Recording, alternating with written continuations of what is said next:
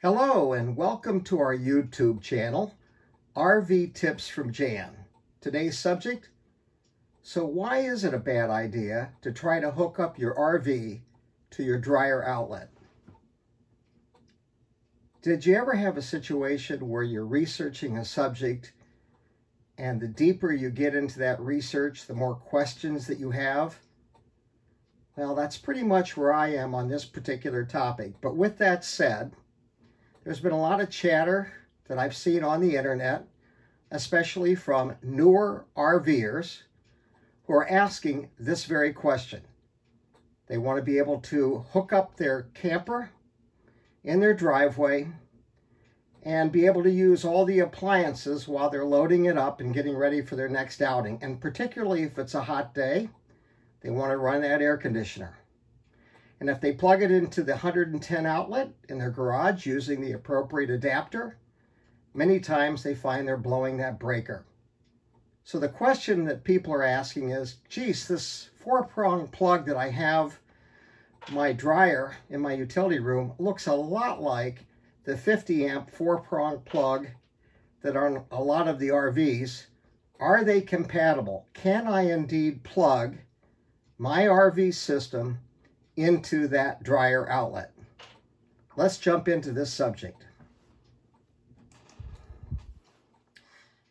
Well, most of us are familiar with the two types of RV electrical hookups. The one on the far left is the 30 amp three prong. The one on the far right is the 50 amp four prong. And many of us, as we look at that 50 amp four prong plug, would say, geez, that looks a lot like my dryer outlet. But the fact is, they're quite different. As we look at the text below, we see that although a 50 amp service for a recreational vehicle or RV is connected to four wires and uses four prong plug, it is still a three pole service with only a hot, neutral, and ground connection. It is different from a conventional 120 volt system and that there are two 120 volt hot feeds or legs, each at 50 amps. If we were to look at the campground service panel schematic, we'd see something like this. And we're very familiar with, uh, with this layout with your two hot leads, your neutral wire, your ground. If we were to look at the campground wiring diagram in terms of how they accommodate both the 30 amp and the 50 amp RVs, you would see this kind of electrical diagram. On the lower left is 30 amp plug.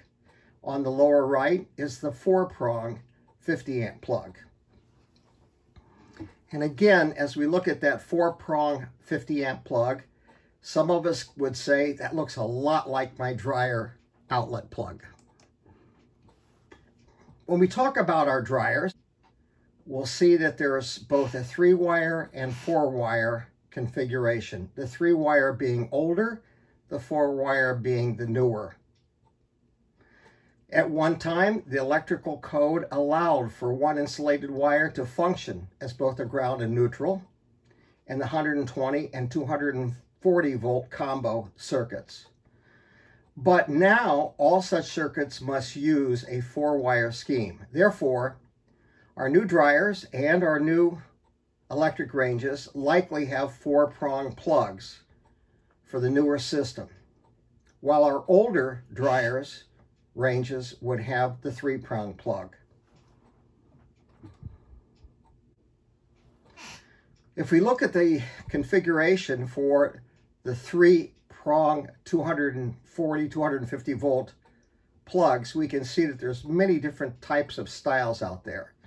And of course, this doesn't help us to sort through this question about can we use our dryer outlet?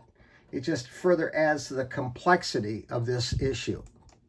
Likewise, we see these variations in terms of the three-pole four-wire grounding system for the 250 volt system. So this is the four prong newer layout that you would find for your 250 volt. So as we address this question, why is it a bad idea to try to hook up our RV to our dryer outlet?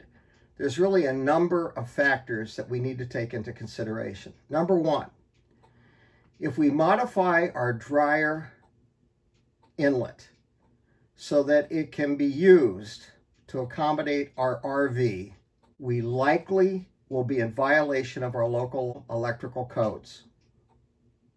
Number two, if we make this modification and indeed plug our RV into that 240 volt outlet, there's a significant risk of electrical failure to our RV electrical system, including the inverter, the batteries, the power panel, the microwave.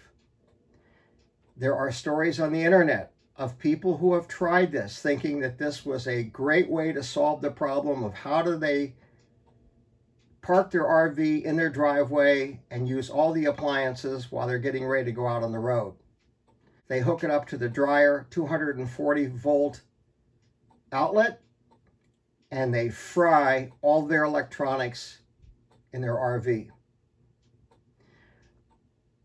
When they meet with their dealer, their dealer gives them a quote to do all the necessary repairs and they find that the cost of the repairs exceeds their current value that they have in that RV.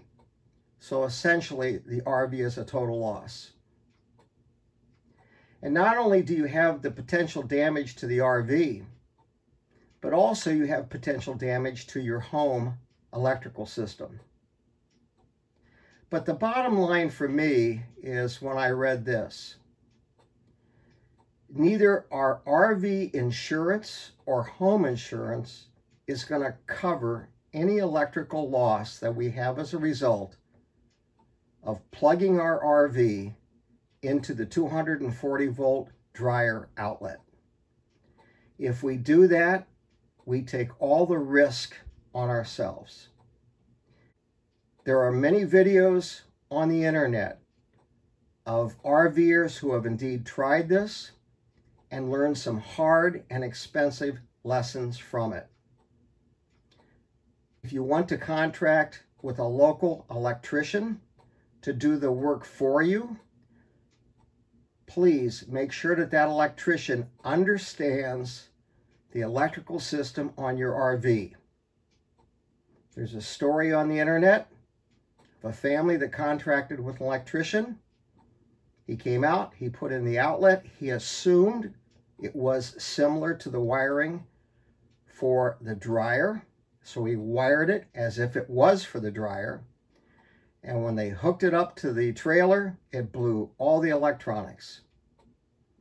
The electrician did not know that there was a difference in that four-prong wiring system for the trailer versus the dryer. He thought they were very similar or one and the same. I hope this video has been helpful to you. It was a great subject for me to dig into. I had lots of questions and I still have questions. You may have some thoughts and suggestions that you can share with me and those who see this video. I would really appreciate hearing those.